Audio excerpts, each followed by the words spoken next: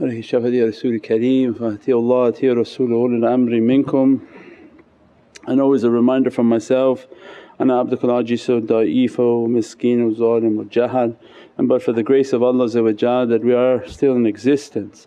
Alhamdulillah Allah gives for us that out of 12 months four of them are holy for Allah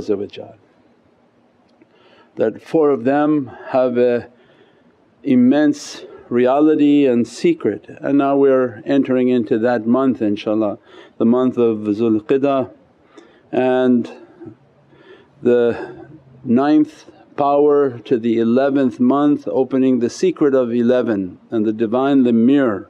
Opening the reality of 9 times 11 being 99. The 99th name of Allah Al-Sabur, sabr and patience the 99th name of Sayyidina Muhammad from Dalal Khairat is Nabi Mustafa and the chosen one, the fragrant and beatific one. The 99th surah, Suratul Zalzala that these realities and this dress, the hijab of this month Subhanamandul mulki wa malakut. Glory be to the Lord over the heavenly and earthly kingdoms and we pray that Allah give us its realities and its dress. Mm-hmm. And we said that every month Qur'an, Holy Qur'an is dressing this dunya.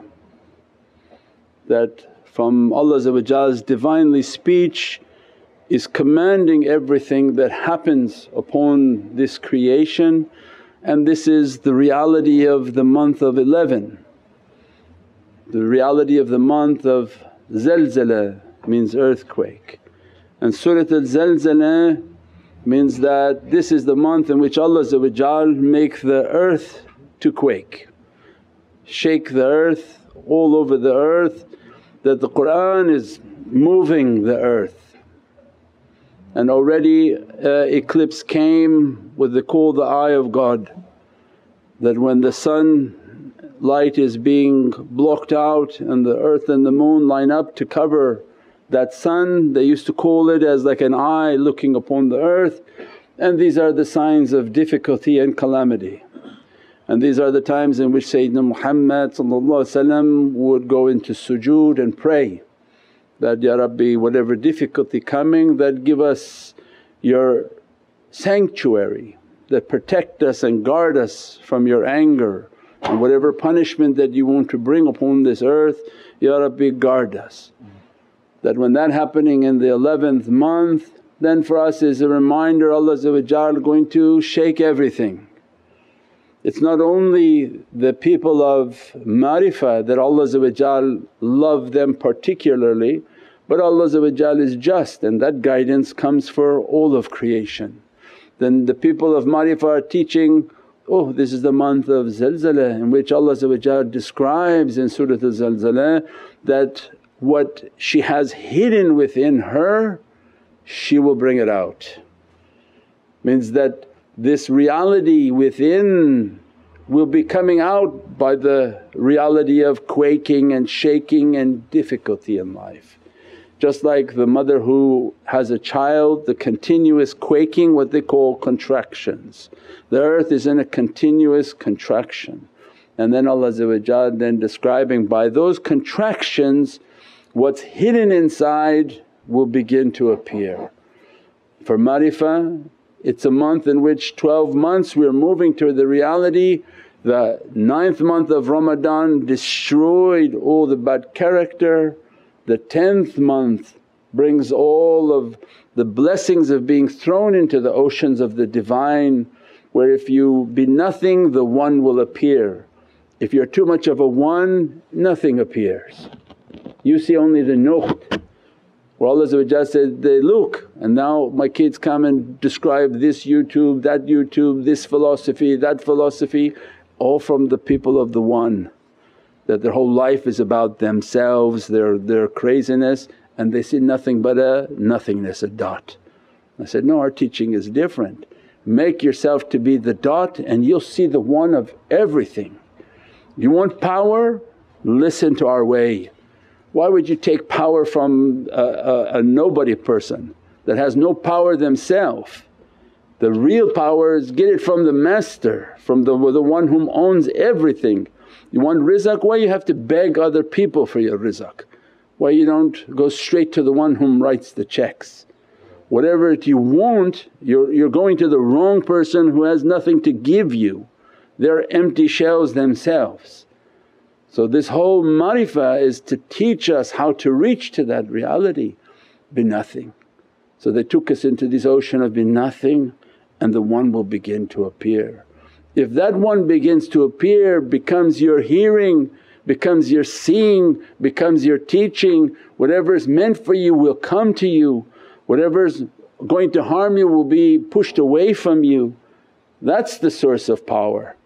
They're not wasting their time trying to go to here and there and get from this and that when that one can't even help themselves.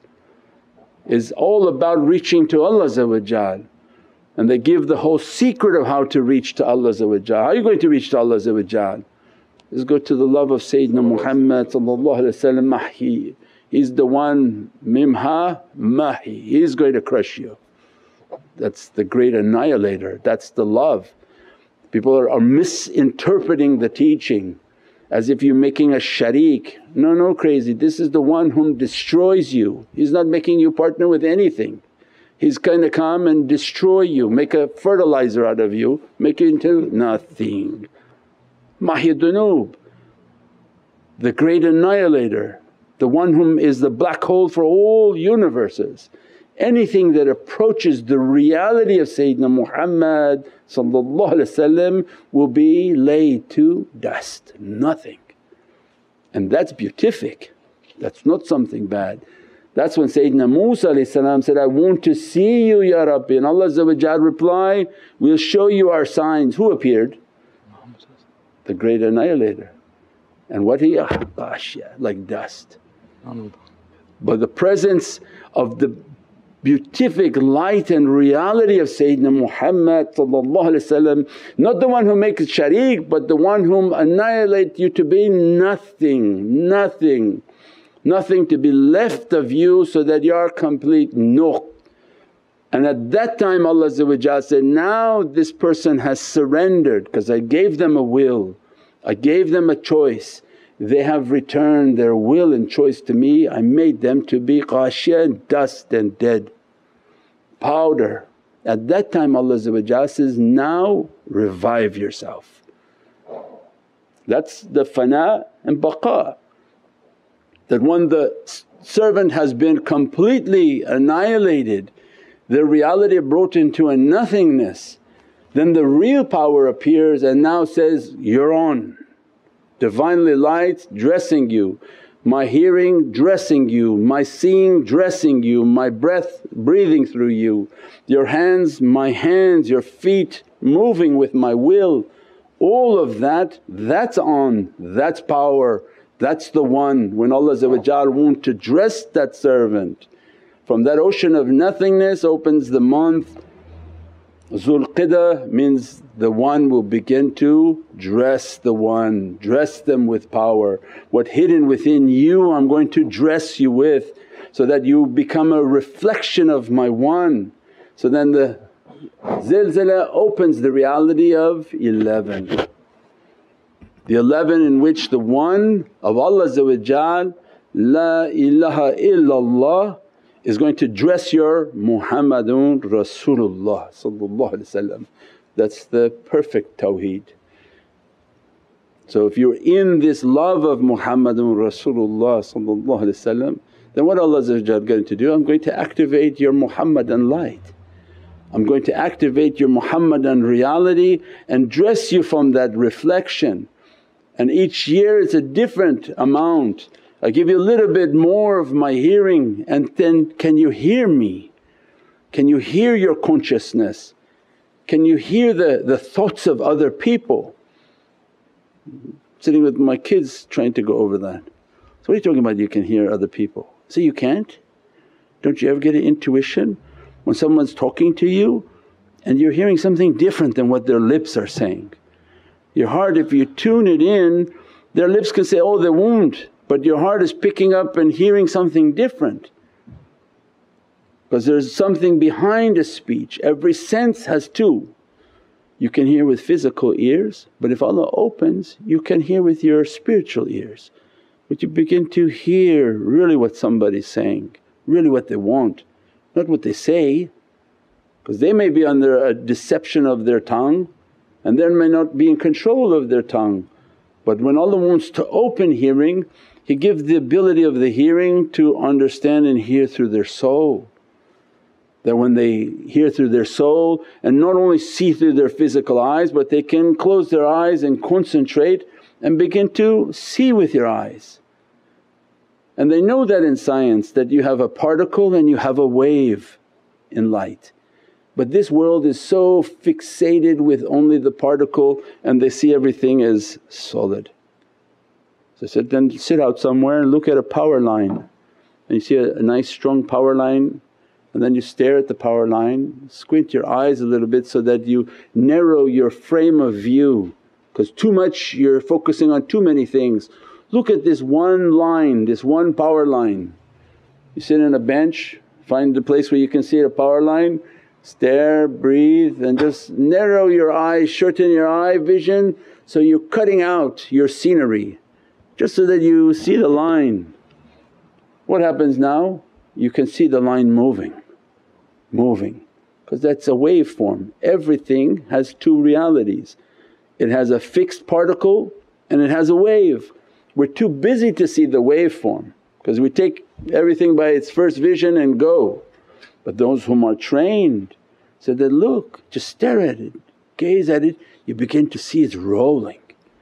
You can see even the horizon of the grass moving if you stare at a location and narrow your focus down you can see things are moving, everything has a wave format and in its wave it's moving. So it means Allah want to open the eyes that don't just think your physical eyes, don't think from your physical ears.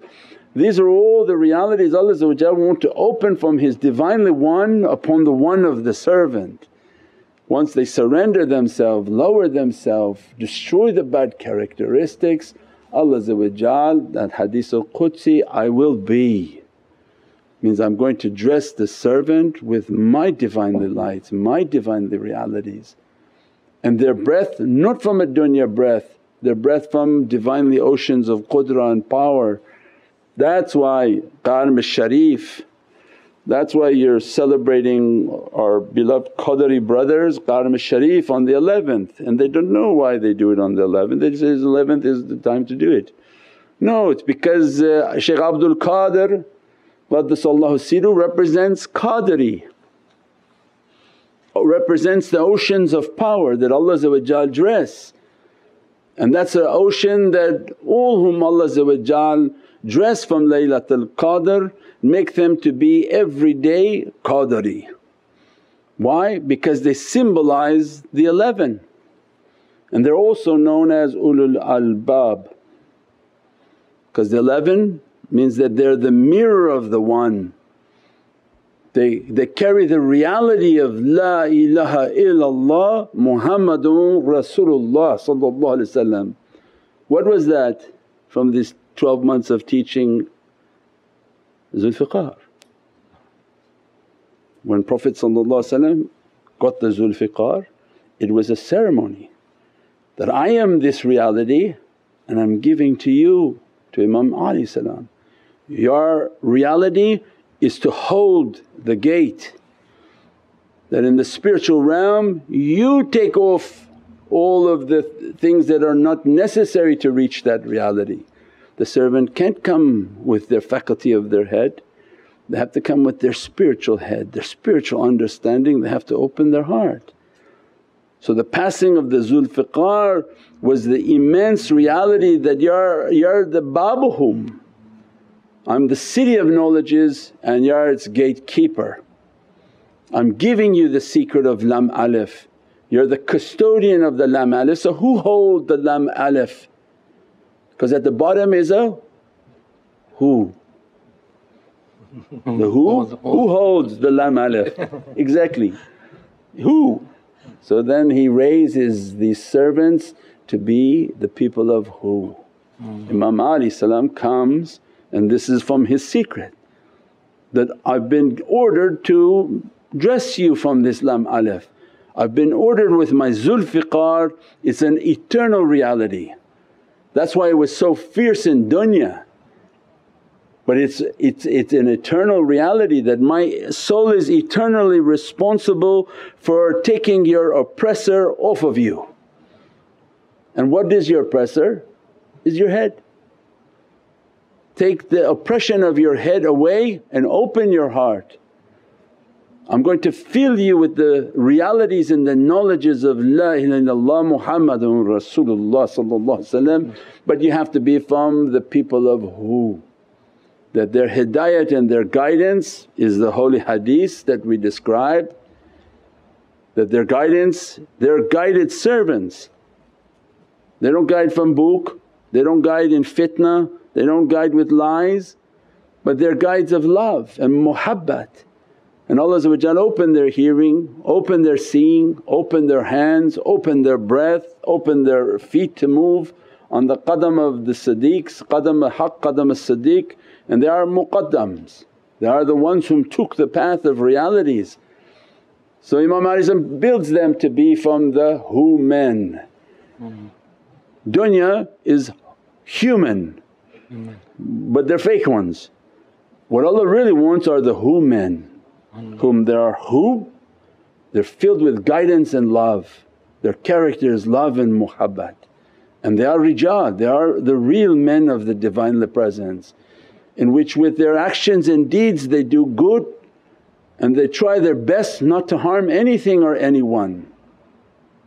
Means these are immense realities. Gharam Sharif is not just one day, it's our whole life understanding to raise ourselves to be from the reality of the One, to be our, from the reality of, of uh, Qadri and Qadr power, to be dressed by the oceans of power, to be dressed by the oceans of reality and to receive the madad of these immense awliyaullah that we're being dressed by these lights, blessed by these lights, all of these realities and characteristics.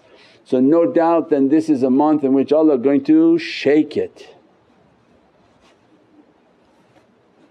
Right? How are you going to bring out such an immense secret? It's like an oyster, you, you got to crack the, this hard shell otherwise you can never get the pearl.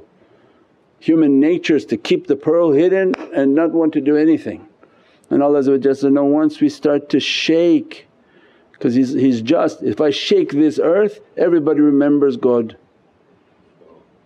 You shake it and they're immediately saying, oh God help me. I said, I didn't think you believed in God. But you do when the earth is shaking and you have to jump out your window and grab your shoes for an emergency because Allah loves His creation. That this a month I want your reality to come out don't, don't be stuck with the, that it, you're going to keep it inside like an oyster forever because if you don't take the oyster out it actually rots the pearl and becomes nothing. There's only a point of time in which it's precious. If it just sort of lie in there and become cryptic and die in there the secret never came out, the pearl never shined. So Allah say, you can sit on this like a chicken on an egg. This reality has to come out, has to blossom and only through these testings and difficulties and sadnesses and all that the earth is going through these realities can shine and come forth. We pray that Allah give us a, a life in which to see these realities, be dressed by these realities, blessed by these realities and what did we say?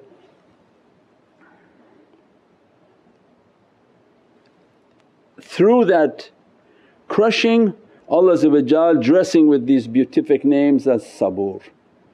So that's why on all the training the sabr and to be dressed by sifat of sabur, the one whom Allah when He dressed them put how all these are like a tasbih these realities that we're talking about the Divinely Presence, wants to raise the servant up from nothingness and begin slowly each year to dress them from a one. Adjust you a little bit more with your hearing, adjust you a little bit more with your seeing. It doesn't come all at once, you don't go 0 to 500 miles an hour but every year Allah dress the servant with more and see if they can be capable and handle. And as He's dressing them, teaching them, have sabr have patience, your life will be through many different tests. If you have sabr and patience means don't expect anything from anyone. Don't expect anything from anyone, your expectation is false and from you and it's not from what Allah maybe wanted from someone. What we put on to people as our expectation, that servant is a servant of Allah playing by Allah's rules not mine. And I'm not here to manipulate what Allah wants but I'm here to submit to what Allah wants. So when the quaking is happening at the same time Allah dressing with sabr. If we can withstand the quaking Allah's promise is then now the sabr is dressing you from these realities. And as a result of the immense reality of sabr, what's the name of Sayyidina Muhammad al-Mustafa is its key the chosen one will begin to dress you with the beatific lights of Nabi Mustafa, Ya Mustafa. Why they're singing those Naat Sharif? Because that key is coming. If you have sabr, its reality can only open with the key of Nabi Mustafa If that key enters in then your, your sabr and dress from Allah is the beatific lights and dress of Sayyidina Muhammad and you become sabireen, those whom are patient in Allah's way. Their life is like a tornado but they seem to be very good in the middle of it because there's peace and calm in the middle. The whole world may see your life like a tornado but for them in the centre is very peaceful mm.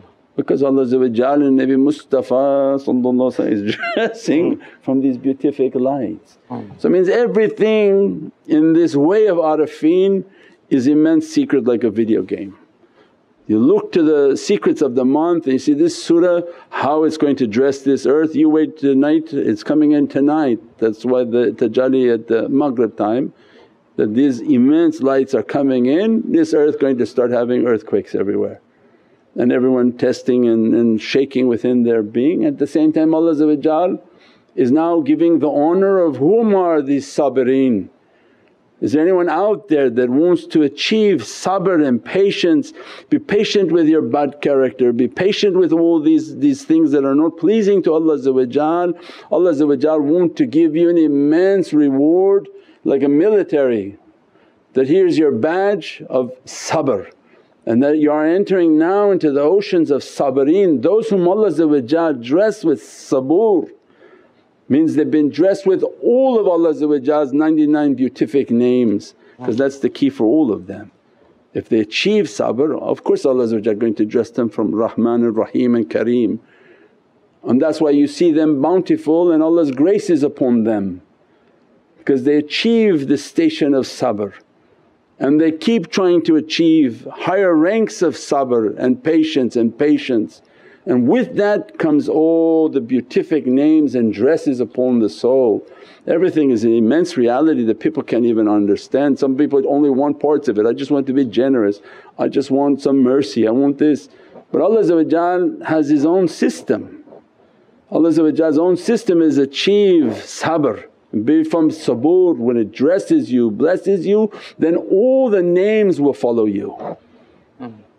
They each have an angel attached to them and each angel comes with that attribute and begin to enter into your soul to dress you from ar-Rahman ar-Rahim and Al-Kareem, all of these names and attributes of Allah begin to dress the soul of that servant especially with the key of Nabi Mustafa that make everything to be chosen and beatific. InshaAllah dress us, bless us with the immensity of this month opening and to keep ourselves safe, our family and community safe and that Allah dress us from the lights and the love of Sayyidina Muhammad bi hurmati Muhammad al-Mustafa wa basira Surat al-Fatiha. ذلك الشفاعة يا رسول الكريم